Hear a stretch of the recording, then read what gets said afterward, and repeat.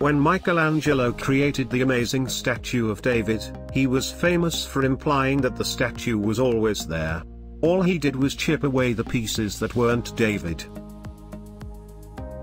While most of us look at a tree and see a tree, a Chinese artist saw much more, just like Michelangelo saw David in a large piece of marble.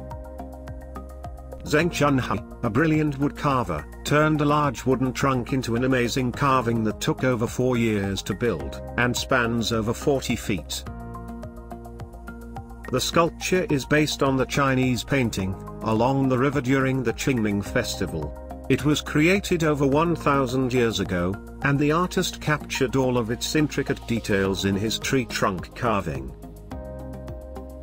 The painting has been replicated many times, but never in a wooden sculpture as beautiful as this.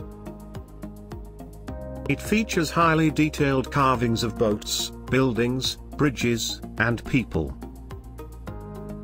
A tree was the perfect canvas, as the original painting was created on a long scroll. The original scroll was over 17 feet long.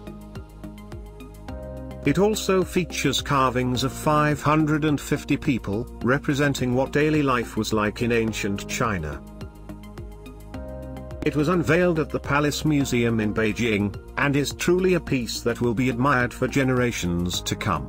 Thanks for watching, and if you enjoyed this video, please hit the like button and subscribe for more videos by Winkgo.